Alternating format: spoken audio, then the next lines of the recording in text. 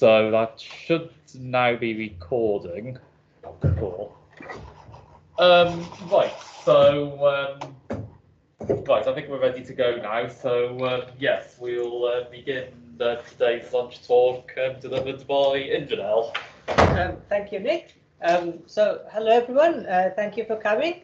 Um, today, I'm going to be talking about uh, testing the Milgromian dynamics theory using local wide binaries.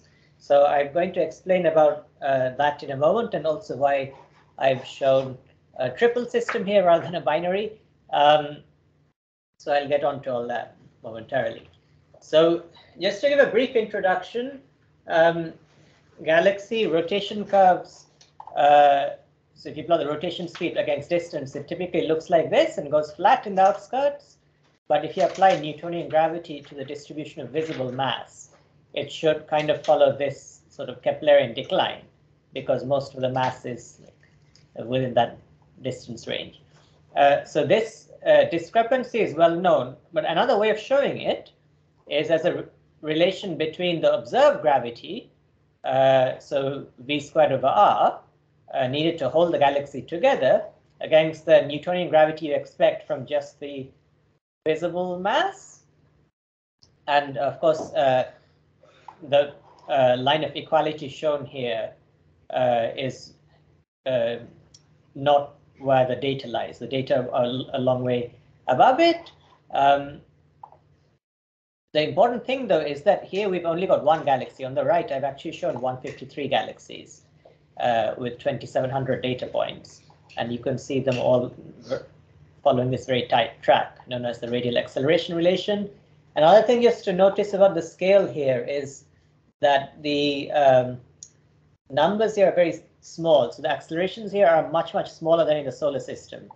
Even the gravity on sort of our most distant spacecraft on the Voyagers is uh, about 10 to the minus 6 meters per second squared, so a lot higher than anything shown here.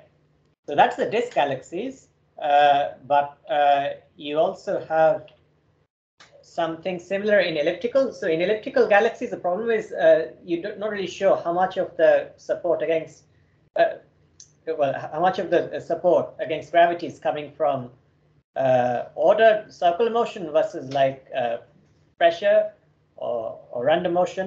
So there's basically two limits. Either it's all coming from pressure, it's all coming from rotation. And these two panels basically show the two limits. So in the right panel, you've got um, a hot gas halo where sort of collisions between the gas uh, atoms and ions uh, mean that there isn't any ordered motion, it's just random pressure. Uh, and on the right, you've got a, a subdominant, but nonetheless rotationally supported gas disk. so you um, so in this panel you can you've got data from several different galaxies, and the thing I showed on the last slide, the radial acceleration in disk galaxies showing this blue shading, but the new data is like these colored points from different galaxies, and they also follow the area very nicely. Then from these uh, three S0 galaxies, again, it's the same thing. So lines in the background of, of the spiral galaxy area.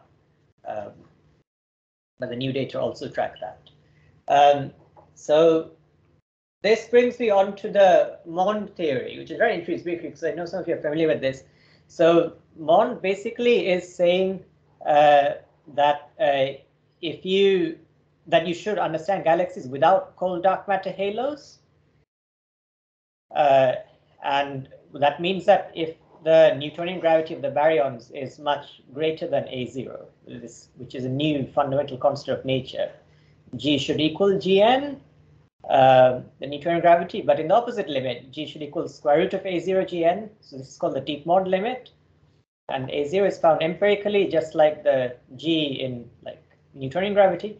Um, importantly, uh, you need to apply this uh, equation for more complicated geometries. So in spherically symmetric situations, G would just be some function nu uh, of the gravitational field strength times the Gn. So there'd be an algebraic sort of relation between G and Gn. In more complicated geometries, you need this field equation. Um, and we've reviewed more nicely in, in this review uh, uh, paper, uh, which apparently is quite popular. Um, now, there's also relativistic Mond theories where gravitational waves propagate at the speed of light. So uh, this talk isn't really about relativistic tests, but I'll just show one slide on relativistic tests, just so you're aware. Uh, first of all, in Mond, the relation between the gravitational field and the light deflection angle is the same as in GR. Doesn't have to be, but typically people construct Mond to be like that. Um, and uh, uh, the, of course, the difference in Mond is that G is enhanced for the same mass distribution. Um, so if you try and look at stacked galaxy-galaxy weak lensing results, they actually trace basically the same radial acceleration relation, but they kind of carried on down to much lower accelerations. Um, in other words, the slope continues being a half down to like as far as they can get, uh, which is several hundred kiloparsec out from the galaxies through the use of stacking. That means they can get down to five orders of magnitude below A0 in the GN. Of course, because uh, G was supposed to go square root of A0 GN, that means there are only two and a half orders of magnitude below A0 in terms of the actual gravity. Right. Um, so uh, just some recent results which have used this uh, these observations to rule out uh, some interesting models in, in case you are interested, I can answer more questions about that. Um, now, uh, I'll get on to the important uh, business of wide binaries. Important thing is that MOND is an acceleration dependent theory, which means for any uh, mass, um, if you want the gravity to be in the MOND regime, you need to go beyond its MOND radius, which is square root of gm over a naught. Now, for the sun, that's only 7 kilo AU, which is very small compared to the galaxy. That's because its mass is much smaller. Now, uh, this means that dark matter would not affect a local wide binary uh, because basically the gravity from a dark halo with the fixed density scales with the size, uh, and therefore, even if a massive CDM halo exists around the galaxy, it wouldn't I think it would have a 10 to the minus 5 A0 sort of effect, uh, which is negligible. Now, I'll come on to the effect of MOND in more detail later on, uh, but suffice to say it's not negligible. Uh, and this has been known for, for many years. Um, now, in any individual system, one can't really do this test properly because of uh, projection effects and also orbital phase effects. It might just be caught at apocenter or something. The velocity is lower. Um, so you really you need a statistical test, uh, which is the uh, wide binary test or, or WBT. Now, uh, this is supposed to be done in terms of the V tilde parameter, which is the relative velocity between the stars divided by the Newtonian circular velocity of the binary. Uh, okay, that doesn't mean that neutral gravity is, is, correct, but it means that it should still it's still a best way to parameterize the any deviations that might arise. Um, so that's the V tilde parameter, uh, but uh, we use only the sky projected quantities in this because they're more accurate. That that will have the effect of reducing V tilde further below the 3D value. Uh, because we see VREL will be lower, but also the Newtonian VC will be higher if R is just the projected R. Um, so the main prediction is that in MOND, local wide binaries would orbit 20% faster uh, in the um, asymptotic regime of large separations. Um, so if you increase the separation further, the orbital velocity will still be 20% higher than the Newtonian expectation. Um, and basically, uh, the, the factor you get is the same as the factor by which the Newtonian rotation curve of the Milky Way, of its baryons, must be enhanced in MOND. So I'll show the rotation curve on the next slide to give you an idea what that looks like. The orange rotation curve is what the galaxy would do if uh, our physics actually worked, basically. Um, the problem is the data is uh, up here. The discrepancy is much smaller here than in many other cases, but it's still noticeable. Uh, there's basically like a 25% enhancement. Um, but because of the complications of MOND, the enhancement to the local wide binaries is slightly less. Uh, but in general, though, the main thing is that the enhancement factor you get here should show up in wide binaries. Um, that's basically the, the idea. Um, so now we, uh, yeah, so I haven't shown any real data before, but uh, for, for the wide binaries, but here you can see the distribution of V tilde uh, from the Gaia DR2 in red. And in, importantly, in MOND, uh, if you neglect the galactic EFE, which is not really legitimate, but if you do that, you get the green curve, the prediction, uh, which is completely wrong. So that's one thing to understand. But um, it, this doesn't really tell you much because MOND has to have the EFE. Um, if you include the EFE, you get the pink curve, which is very similar to the Newtonian curve in black. Uh, so they're quite hard to distinguish, at least with DR2. Uh, but maybe we'll get third time lucky, as with many things. Um, the important thing, another important thing though, is that the red data have this extended tail. Now, this extended tail was uh, expected kind of a priori. We mentioned about this in some detail before seeing such data, that uh, closed binaries would create such a tail because it's declining, it's almost certainly not line of sight contamination that will create a rising tail. Um, and also it's not like measurement errors. Um, so come on to like some more uh, about the closed binaries later on. But uh, that's basically what a V tilde distribution like looks like. Um, so this brings me on to, yeah, so how do you get the V values? Uh, so we use similar methods to the Pittordis and Sutherland, like Queen Mary group. Uh, basically, you need first we need to get the mass from the absolute Gaia band magnitude. Uh, now, the important thing to understand is uh, MOND is equivalent to like a 45% boost to the gravity, is equivalent to about 1.8 magnitude change in the uh, absolute magnitude of a star. So it's quite a significant effect.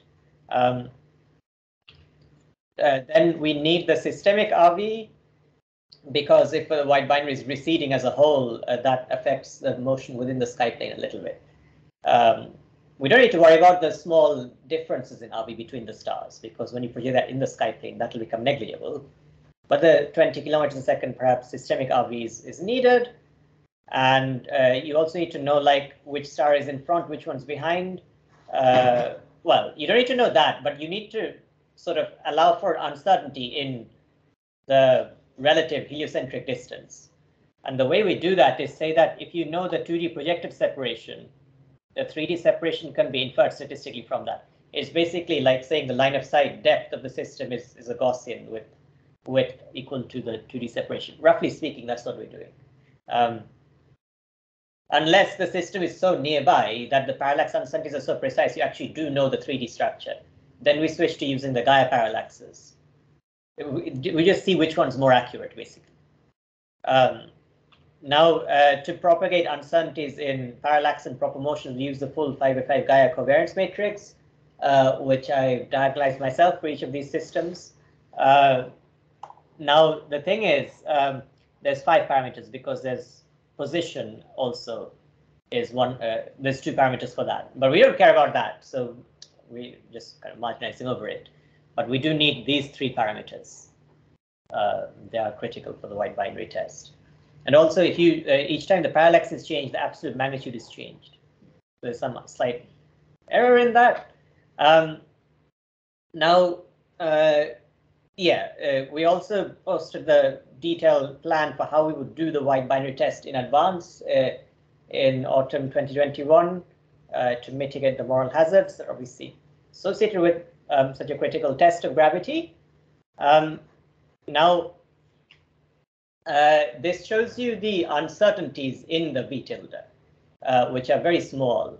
Uh, what we did is we asked for a maximum error of only 0.1 for V tilde equals 0 to 2, which is a critical range that's kind of most relevant for the wide binary test.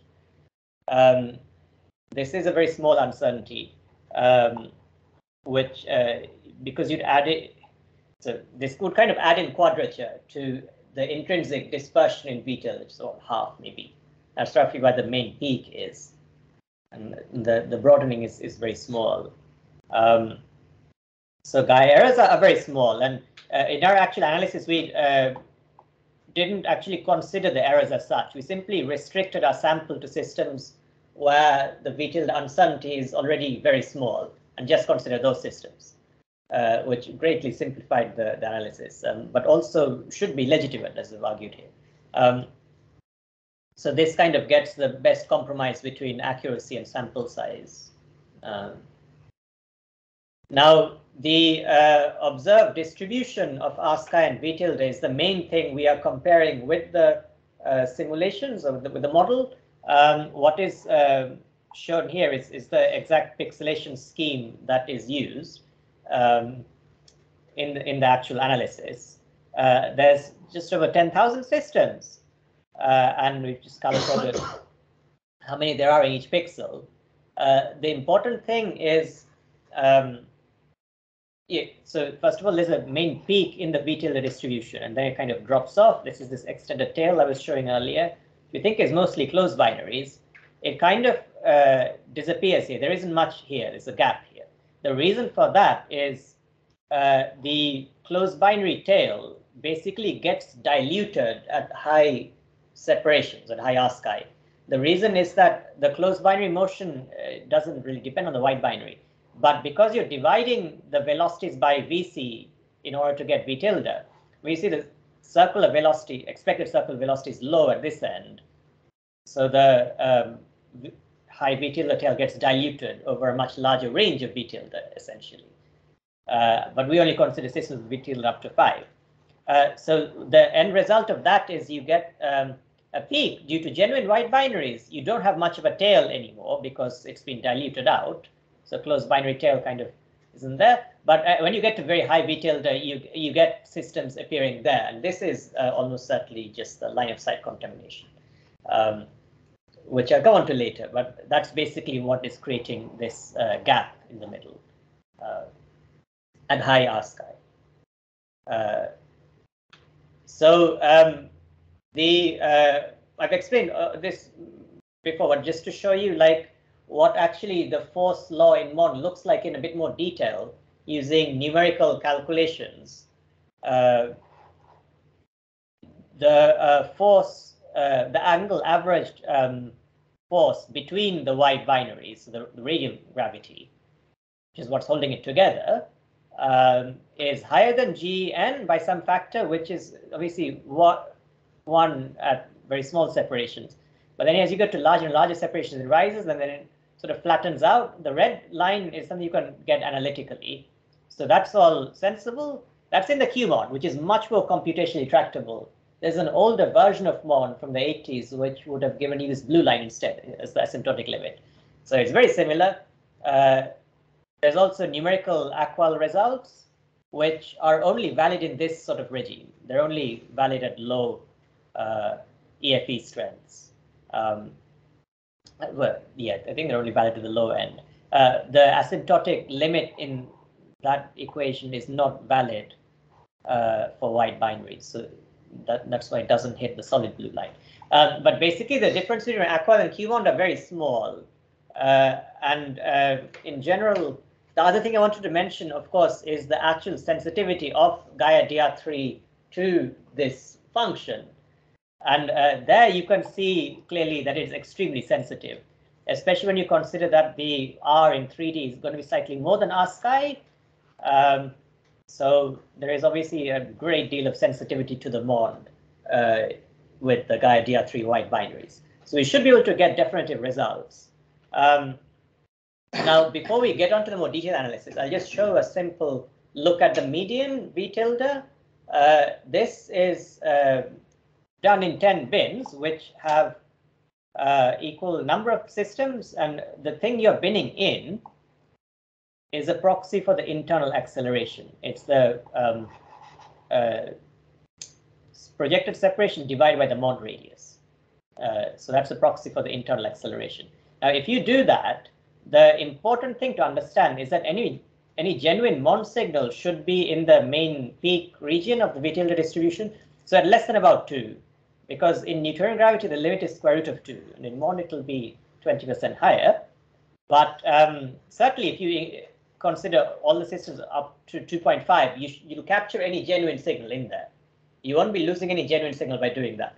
If you try to go more, uh, go beyond that though, you'll only include more contamination. Uh, and uh, therefore, it's not really helpful to consider like a higher V tilde limit than, than two and a half. Um, so just bear that in mind when seeing these results, which show you results for V tilde less than 1.5, 2 and 2.5, um, which are all very flat. And you can see that that uh, flat grid line here kind of worked really well. Um, this gray line is kind of what you'd expect in MOND. Uh, there should be a 20% rise going from like very low values up to one, and then it should flatten. Uh, so that's not what happened. The Newtonian expectation is, is confirmed. The MOND expectation seems to be completely incorrect on this slide. Um, except if you look at the V tilde less than five case or the full sample. But as I argued, that's not a good way of looking at the results because you just allow in more contamination. And the contamination would indeed be more important at high separations, but that's also lower acceleration. So that can lead to a fake MOND signal. Um, so the pink curve contains like kind of fake MOND signal, um, a MOND-like signal. It's still not really like the gray line. But anyway, it, from this, it looks, uh, uh, I also forgot to mention that um, because there's about a thousand systems in each bin, the uncertainties are typically about 0.02-ish. So it makes sense that uh, the black line looks like a, a little bit jagged. Right, so uh, now you're probably wanting to see what happens the more detailed analysis. So I'll explain that in, in, in some detail, uh, what we did. So first of all, uh, you need um, the wide binary orbital motion to be modeled, which we do by computing a 2D gravitational field for a point mass in the galactic EFE. Uh, which is all right for this problem. We're treating the wide binary as entirely just one point mass plus a test particle, which is fine in the Newtonian case, but we've uh, shown before that in MOND, it's also fairly accurate to do that. Uh, certainly in the asymptotic limit of large separations, it becomes like totally legitimate also in MOND. Um, and there's basically no intermediate regime. There is a narrow intermediate regime where it's slightly inaccurate. So that's the gravitational field. Orbits are integrated in that gravitational field for 20 revolutions. And um, we consider a dense 2D grid of viewing angles at each time step. It's quite expensive work, not as much as some of the other steps I'll come on to. Um, the higher, uh, right, so we consider like a range of orbital eccentricity distributions parameterized by gamma. Higher gamma means orbits are slightly more eccentric. So in, in, this in these models, gamma is actually used as the slope of the eccentricity distribution, assuming it's linear. Um, later on, we'll use it in a slightly different way. But the main thing is um, that you can see that for all the different eccentricity distributions, the uh, Newtonian distribution of V tilde is very different to the MOND one. So there's clear water between the two theories, uh, and uh, that um, is not meaningfully affected by uh, uncertainty in the eccentricity distribution. Um, so we set up an interpolation between the Newtonian and MOND gravity laws with where with this parameter alpha grav, which is zero for Newtonian gravity, one for MOND. So I'll have to take values slightly outside this range as well, between basically minus two and plus 3.6, just in case uh, some unexpected outcomes arise. Um, but yeah, that's that's the basic thing for the wide binary test but there's more complications to it. As I mentioned before, you have closed binaries um, where you need to include, uh, which uh, there's a lot of evidence for, uh, including that wide binaries with a high V tilde have these poorer astrometric fits, uh, which we'll probably learn a bit more about in DR4. Um, but most of these closed binaries should be identifiable with follow-up.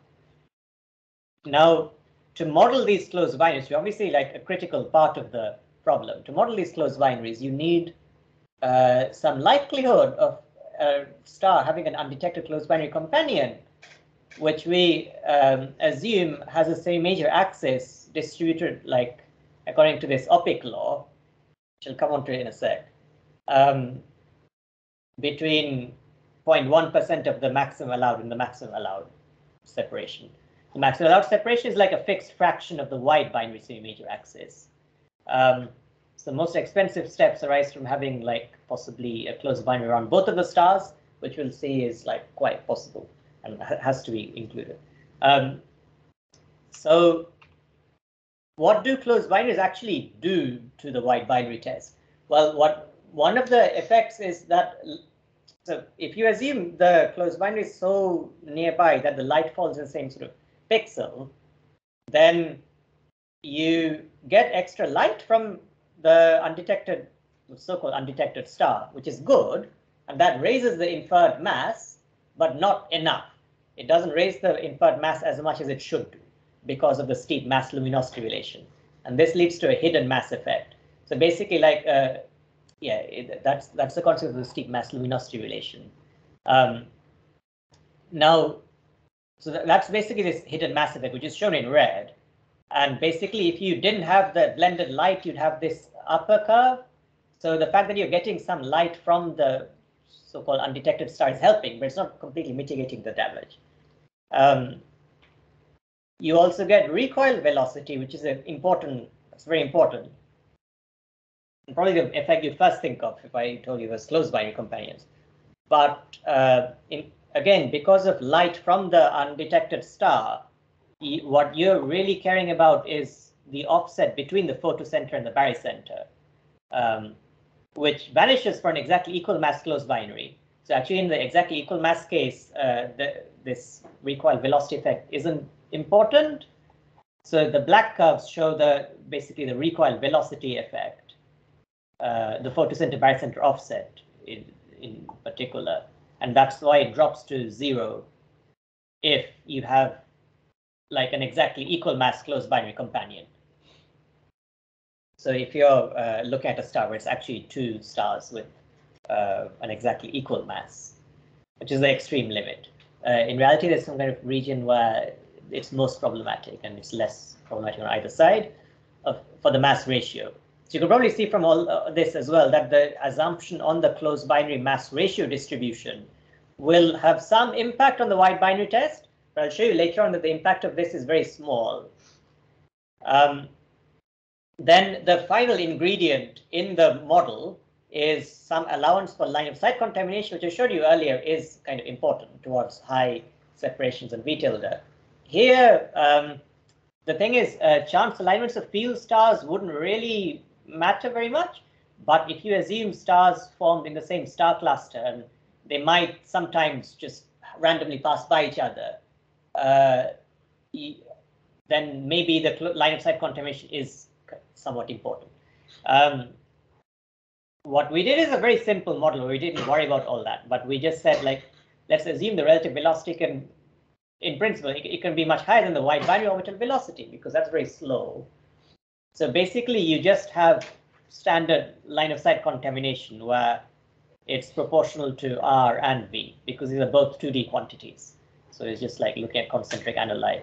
The area here for fixed width is proportional to the radius, but that also applies in velocity space. Um, then uh, the thing is, if you do this in the space of V tilde and R sky, then the R sky dependence cancels. Um, you're just left with the V tilde. Um, so we just fed this distribution to the data, basically. And you'd expect like a few percent, maybe. Well, you'd expect FLOS to be inferred as a few percent in the end, roughly speaking. Um, so then now that we've sort of explained the ingredients in the detailed model, what we do is we vary the model parameters. So there's the gravity law, there's uh, the distribution of y binary semi-major axis, axes, which is assumed to follow 1 over a law until some break radius, and then it follows a steeper law with slope PA, uh, which is less than minus 1. Then you have the eccentricity distribution, which we're treating as a power law uh, following recent recommendations, which I'll give a reference for later. For the closed binaries, you have like the incidence of closed binaries, the maximum allowed closed binary separation. Then there's the line of sight contamination fraction. Um, so how do we use this? We run a gradient ascent to get the best model parameters. We start these uh, with the alpha grav fixed to a half to uh, mitigate like the moral hazards I was saying. Uh, then you, we run an MCMC chain Uh, so this is basically a, an approach we used previously. It reduces the um, complexity slightly because you're starting with the best model. Uh, then we use binomial statistics at the pixel level to get a probability for that pixel having as many systems as it does, given the model prediction how many systems it should have uh, for the fixed samples overall sample size. The probabilities are multiplied together, but that would lead to very small numbers. So we add them in log space. Um, so yeah, we this led to each model having a marginal cost to evaluate it of only about two two and a half seconds. So that's why we were able to run like a whole MCMC chain, about 100,000 trials and several MCMC chains. Now you're wondering like what was the result of this? So the main result is shown here. I briefly recap the model parameters again, but the main result is that the gravity law parameter is very close to zero, which is consistent with the Newtonian result, but rules out MOND at 16 sigma confidence. Now, the triangle plot is shown here. The important thing perhaps for you is the gravity law parameter, which is shown here. Um, basically, these ticks are at plus or minus 0.15 and all the probabilities basically within that range. There's no way that alpha grav can be anywhere close to one. Um, now we looked at the uh, this study which argued that the gamma parameter regarding the eccentricity distribution should be very close to 1.3. We didn't ask for that. We asked for it to be free between 0 to 4. But if you ask for it to be constrained, that will reduce the uncertainty on gamma, obviously, but it will not really affect, it, does not really affect the other parameters. So uh, that's it, that didn't really change the inferred gravity law. Um, these other revisions to the model assumptions, again, also did not change the gravity law. So the inference on alpha grav is written in this column, and you can see is all very close to zero. Um, so things like uh, these two rows show revised X, revised mass ratio distribution for the closed binaries. Uh, the differences are very small in those cases. Um, and the uh, quality of fit is also barely affected. Um, then uh, we tried having a narrow range of mass or equivalently of the MOND radius of the wide binary, which should mitigate some of the biases. Uh, but again, there wasn't much of an effect there. Uh, so that's this. So well, the uncertainties rose though because there are few systems. Um, the most promising scenario is to substantially reduce the FCB parameter. That's kind of shifted the gravity law a little bit towards MOND. So I'll explain why that doesn't work. The nominal model is in black and the revised one with FCB reduced to only 0.4, which is basically halving it, is shown in blue and the data is in, in red. So the, if you look at the v-tilde distribution in four different like r sky bins or ranges, you can see that the blue curve like completely misses the data. It fails to reproduce pretty much all aspects of the observations. Um, the inferred gravity law is still like way closer to Newtonian gravity than to MOND, um, but the fit is also much worse. Uh, based on the uh, log likelihood, uh, the overall fit to the data is about 40 sigma worse than in the nominal analysis. So this unfortunately was a very bad idea. Um, now, what about like changing the interpolating function of MOND to fit the wide binary test? So we've um, basically I've written down the inferred uh, or the estimated like alpha grav in different theories uh, in here. It doesn't differ much between QUMOND and AQUAL, but the simple one, which is what we're using, gives, by definition, it predicts alpha grav equals 1. The MLS function predicts about 0.9. This doesn't really matter much, uh, but uh, the important thing to try and understand is what the rotation curves are telling you. So I have plotted on here the at fixed GN, I've plotted the actual gravity at that GN inferred from rotation curves divided by, sorry, not the actual gravity. What I mean is I've, I've plotted the predicted gravity at that GN according to some interpolating function divided by the actual gravity at that gn inferred from sort of stacking different rotation curves on an RAR diagram. Um, what should happen is that this should be zero. Uh, well, this should be one, and therefore the log should be zero. So a good interpolating function would be a flat line at zero. Uh, any kind of reasonable interpolating function will also do that within the uncertainties, uh, which the simple and the standard, sorry, the simple and the MLS ones do that. So the blue and black curves are more or less okay. I've shown the error bars only on the black one because it's the same on the blue one. Uh, I didn't want to crowd the figure. Um, so these ones, however, both give uh, alpha grav about 0.9. So these are both uh, ruled out by the wide binary test. If you try to use a standard interpolating function, that would marginally work with the wide binary test, just. Uh, if you do that, you'd get this red curve, which completely misses the data on from rotation curves. So this is then uh, not correct. But um, what I mean, the, the problem is that the wide binary test is basically saying there's no enhancement to gravity at all in local wide binaries, which means you want an infinitely sharp transition function. And this will work fine with the wide binaries because locally the acceleration is slightly above A0. Um, so that will completely eliminate MOND effects in the wide binaries. And indeed, I've shown here, the prediction for alpha grav would be zero in that case, which would work. But um, it would completely fail to miss the rotation curves. Uh, and by the way, the sun is about here on this uh, diagram. So uh, yeah, uh, th there's no way to reconcile uh, MOND with uh, the wide binary constraint with the disk galaxy area. It, that's not possible.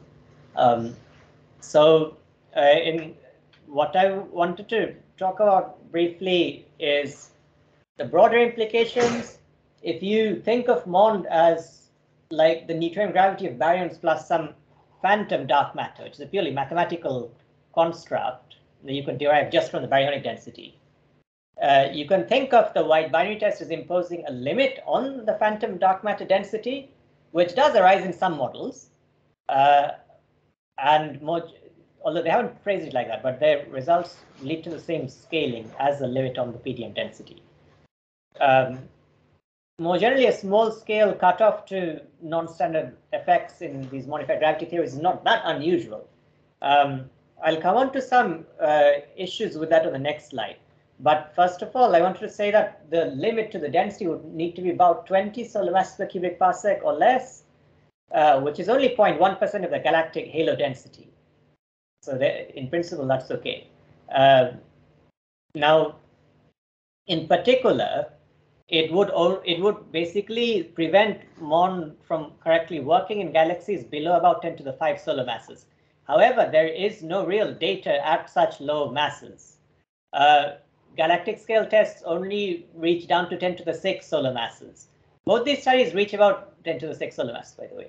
But they we can't really get below that now so in principle, a phantom density limit like this may not affect galaxy rotation curves and things very much, velocity dispersions.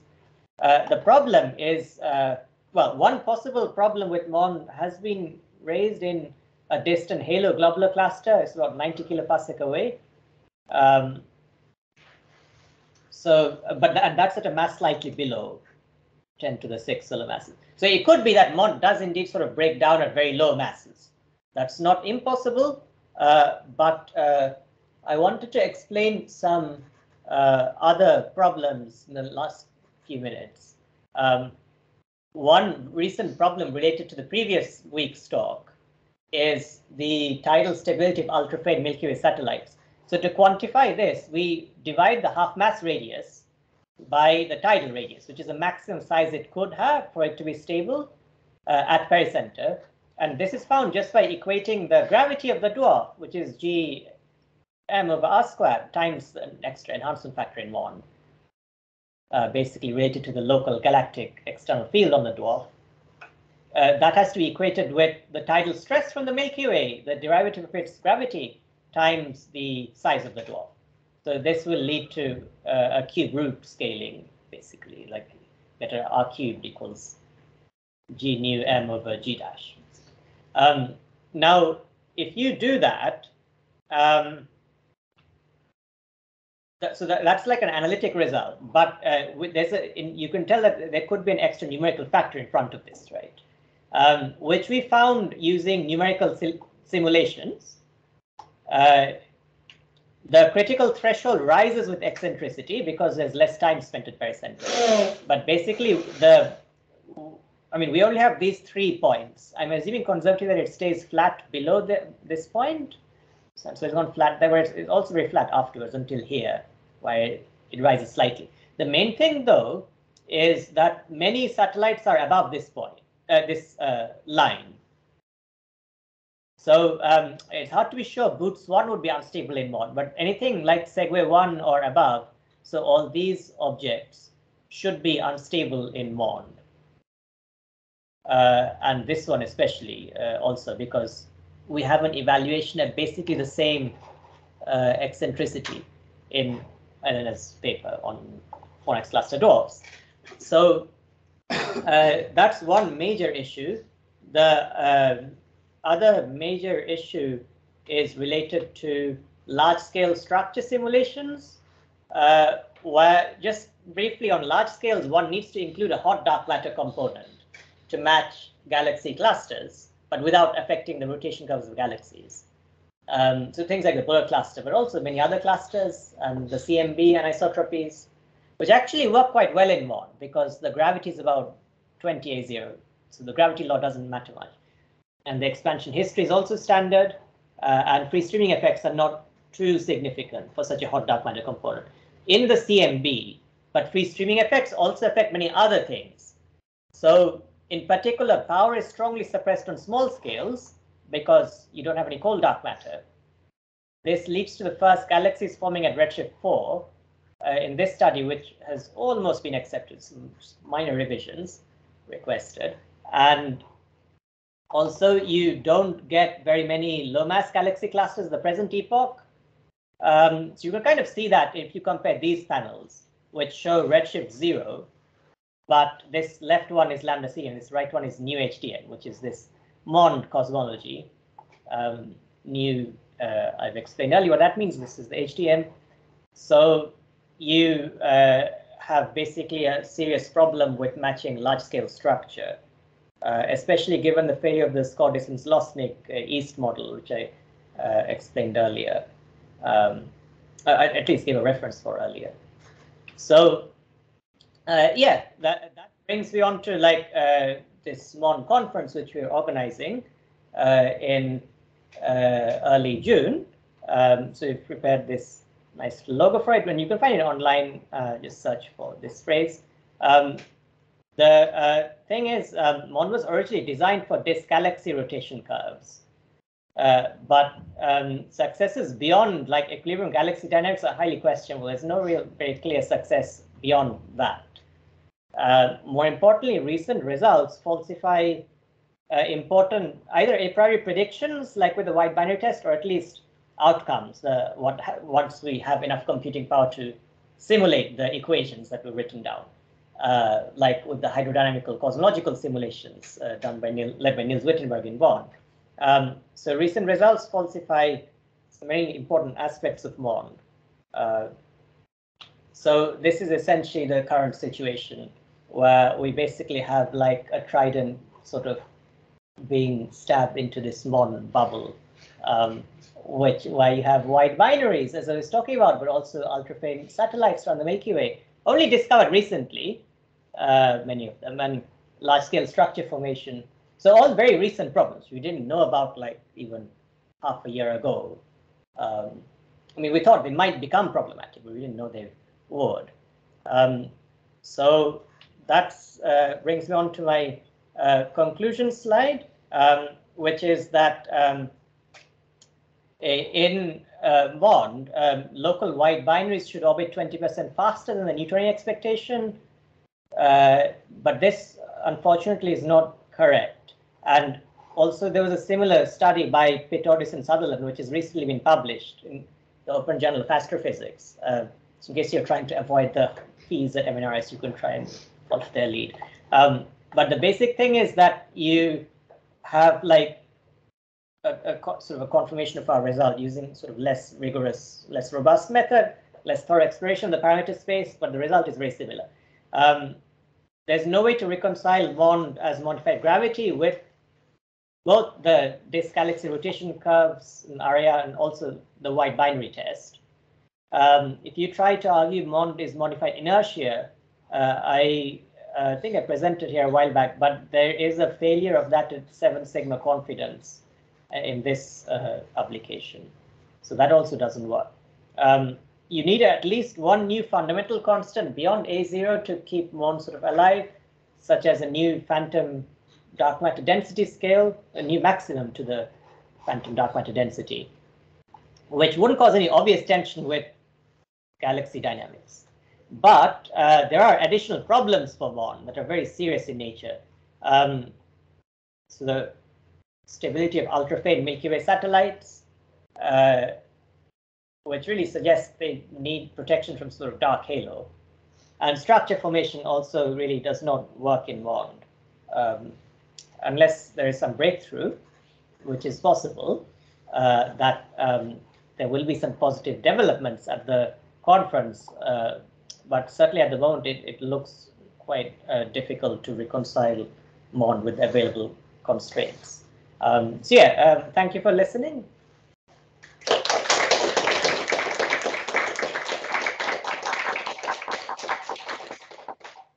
Thanks very much, Janelle. Uh, so we do have time for some questions that people want to ask. Uh, we, we're eight minutes to the hour, so we probably have time for one or two at least. I see we have, okay, Philip has his hand up online. Yeah. Uh, go ahead. Not sure he can hear me from there, but Uh, Philip, I can take your question if you want. Hello.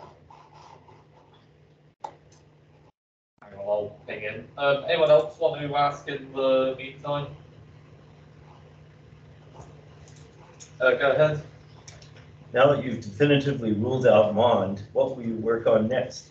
Uh, I, I'm not completely sure. Like in the short run, I would want to work on, uh, like doing sort of numerical simulations, perhaps with collaboration in Strasbourg of, I think of Segue one, and then it will show that basically if that's unstable, everything above it will be unstable, and writing up something related to that.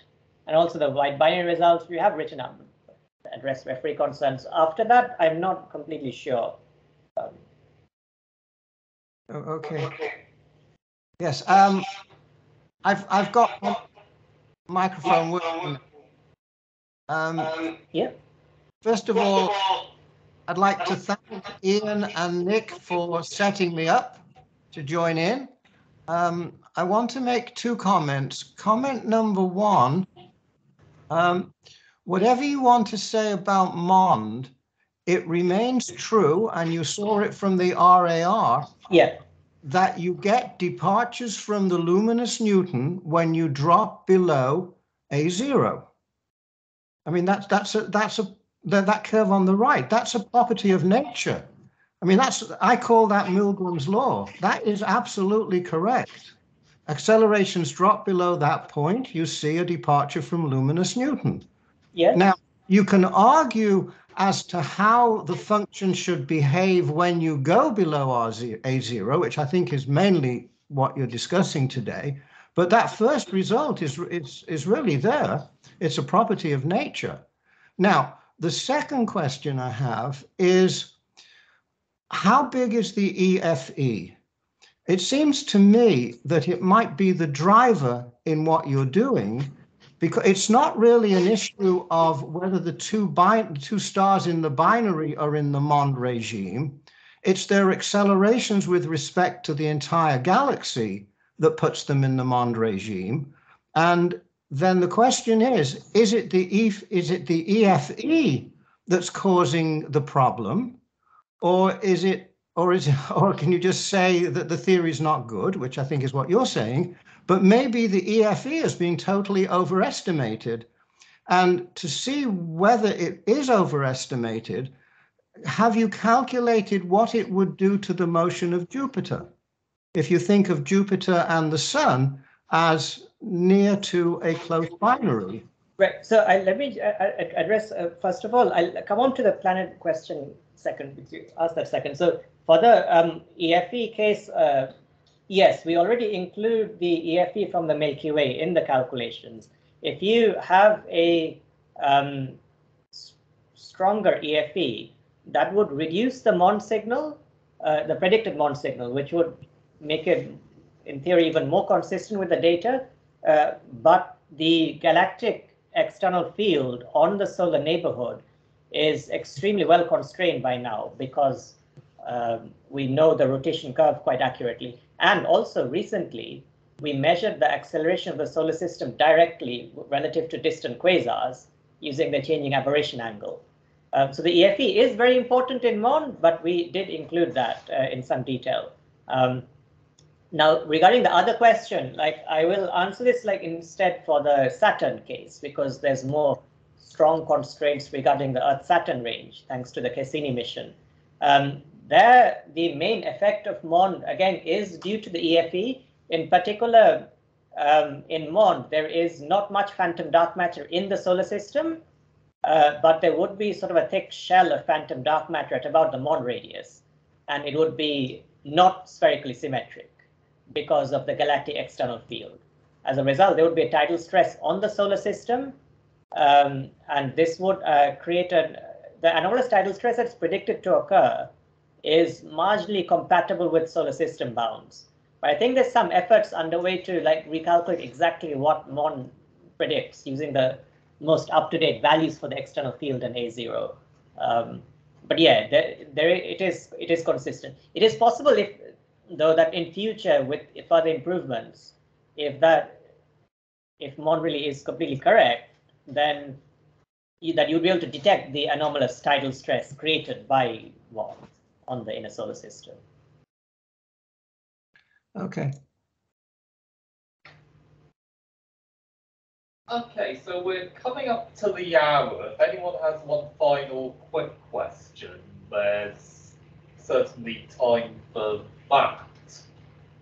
Um, actually, I have one which might be super quick. Yeah. So, um, so does it specifically have to be hot dark matter if you're adding?